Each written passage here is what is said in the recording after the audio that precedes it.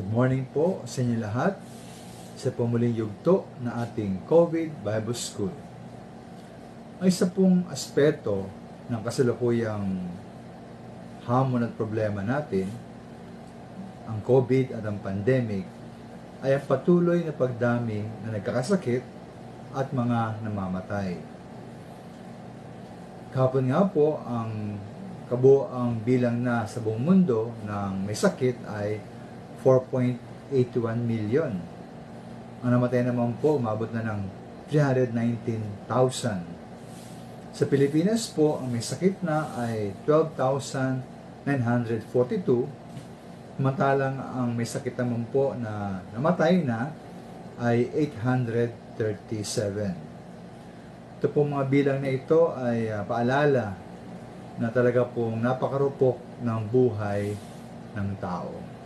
Tunay mga minamahal, limitado po ang ating panahon at napakaikli po na ating buhay. Sabi nga po sa Santiago 4.14, ating buhay daw po ay parang singaw lamang. Sandaling panahon ay lumilitaw at pagdakay nawawala o napapawi.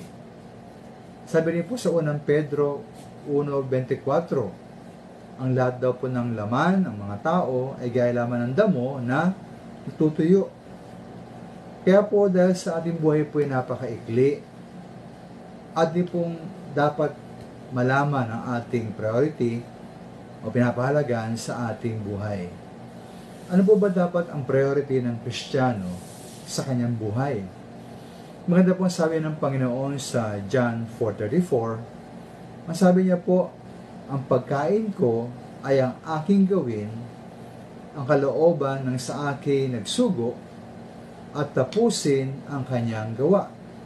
Maminamahal sa Panginoong Yesus sa kanyang pong priority ay ito pa rin ang kalooban ng Diyos Ama at tapusin ang pinagagawa sa Kanya. Do the will of the Father and accomplish His work. Sa ating buhay mga minamahal, alam na ba natin ang kalooban ng Diyos para sa atin? Alam na ba natin ang kanyang pinagagawa sa atin? Marito po ay napakalaki tulad po kay Pablo na mangaral po sa mga hentil o kaya naman po ay simple lamang maging tapat po sa kahit maliit na bagay sa ating buhay sa ating buhay mga minamahal sa sanlibutan, para ba sukat ang tagumpay? Ito po ba ay ayon sa yaman, kapangyarihan, kasikatan, pinag-aralan, trabaho, negosyo?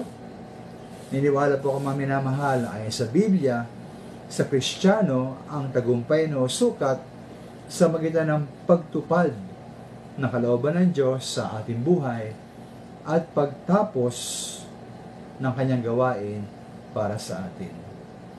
Nawa mga minamahal, bago ba tayo umuwi sa Panginoon, ay ating masabi, ang sabi po ni Pablo para sa kanyang sarili, Kalawang Timoteo 4.7, Pinagbuti ko ang aking pagpaglaban, natapos ko ang dapat kong takbuhin, at natili akong tapat sa panampalataya. I fought a good fight, I finished my course, I have kept the faith. Maraming salamat po.